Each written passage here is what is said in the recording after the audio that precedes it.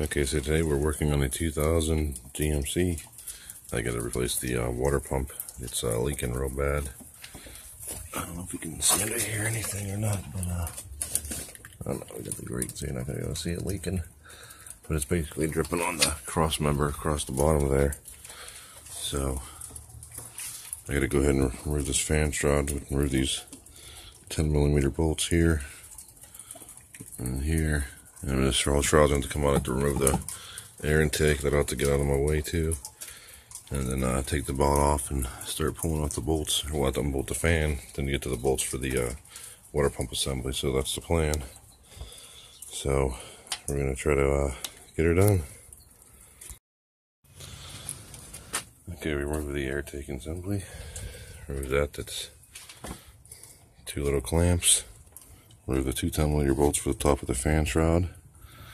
And remove the top radiator hose that went there to here, which is now sitting there. So next thing I'm going to do is pull out these pins down here to remove the top of the shroud out.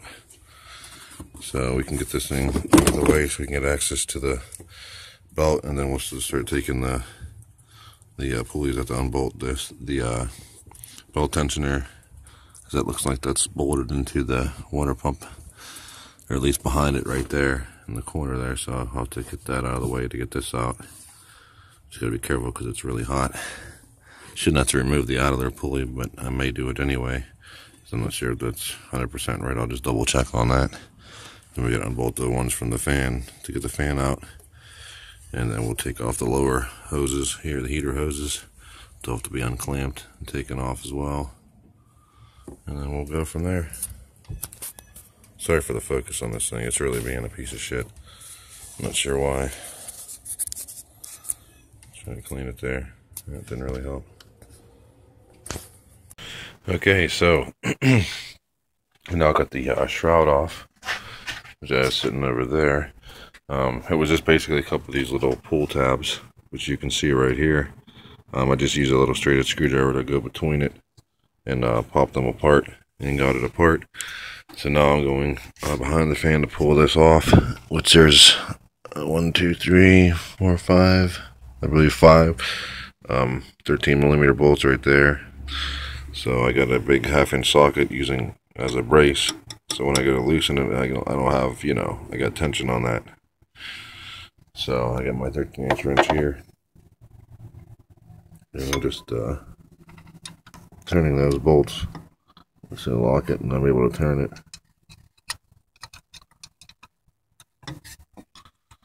So basically just go around.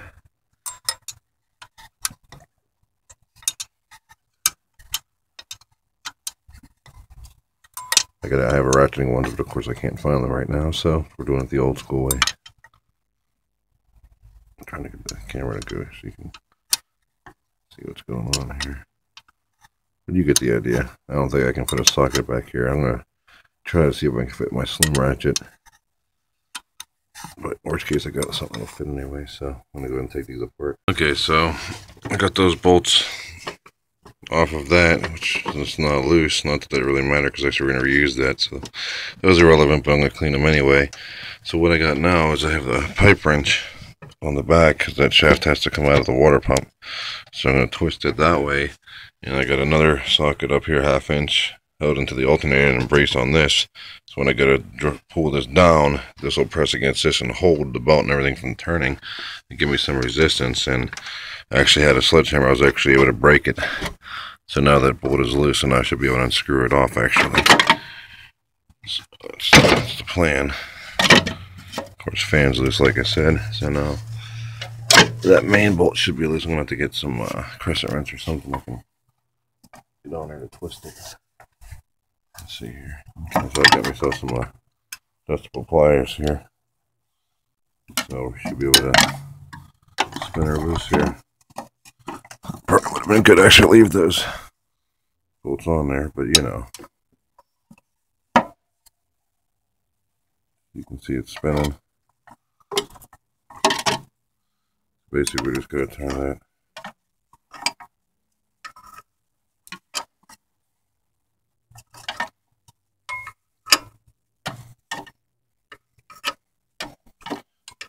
Oh, she's off there. Actually, I could probably just spin it by the front, front piece. There we go. She's coming off now.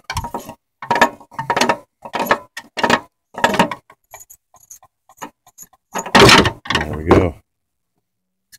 She's off. I have access to the water pump now. Clean the fan up a little bit, she's a little dirty.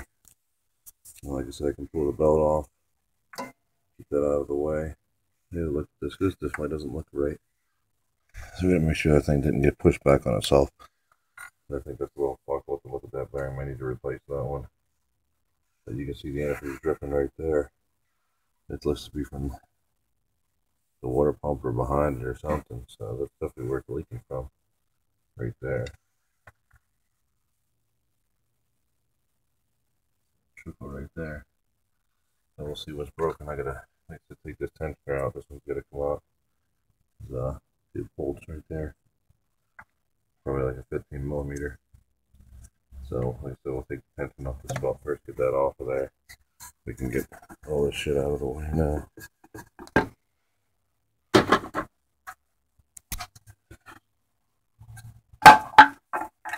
Okay. I just pulled the air cleaner out, I lost the bolt down there, so that's why it's sitting up on top in the motor up there. Like I said, let's find ourselves a wrench here.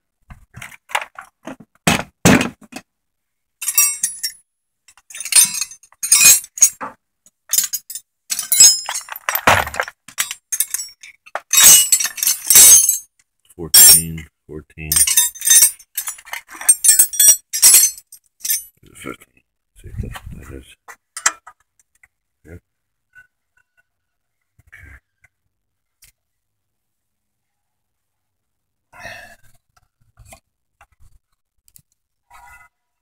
Of course, I just got my own wrench in the way. I knew that was going to happen.